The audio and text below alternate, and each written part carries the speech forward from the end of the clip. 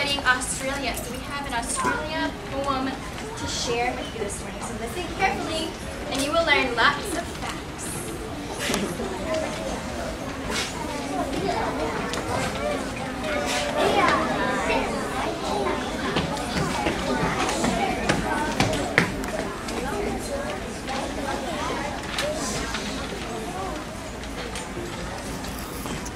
Australia is a continent. It's a country too. It lies in the southern hemisphere and oceans deep blue.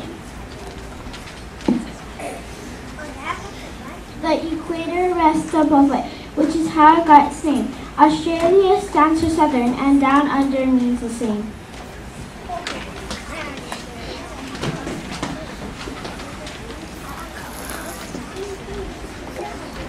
The Indian Ocean is on its left, and the, the Pacific's on its right, and the stars strewn past its southern skies are big and and bright.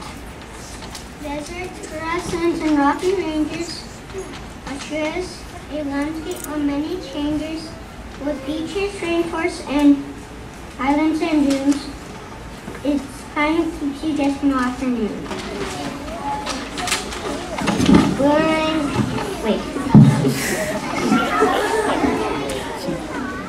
Boomerangs and cockatoos. Australia's got a lot to do. Camel riding and horse racing too. Rugby, soccer, and outback barbecues.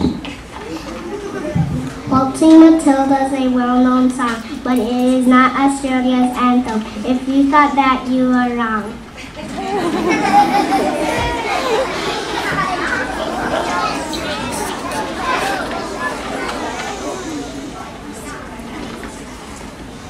Her national anthem's called Advance Australia Fair. You hear it played at many major events held there.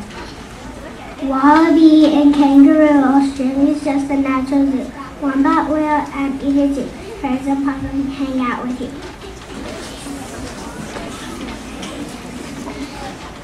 Koala bears.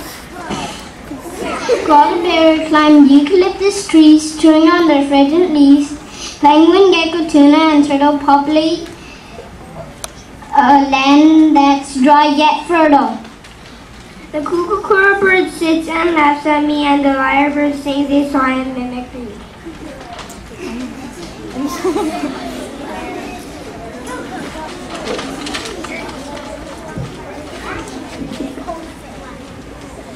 Hissing snakes and spiders too. Some of them want a bite of you. Emus are birds, but they don't fly, nor do they cast and worry about you by. Unlike the black swan swimming quite nearby, or the wandering albatross who fill the sky.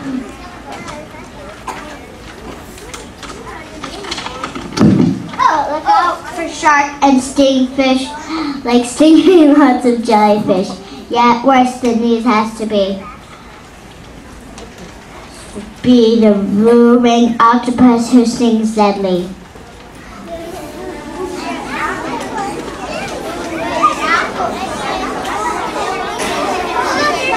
Platypus and dolphins play on the bay and the fish swimming throughout the day.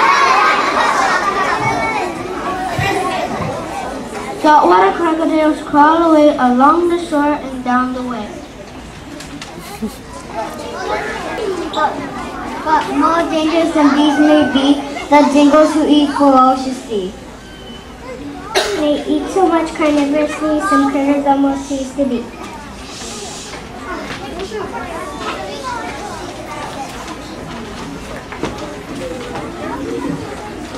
Tasmanian devils, bulls, animal timbers, running hounds, flying herds, inhabit Australia's smallest state. Yes, Tasmania, unique, ignore state.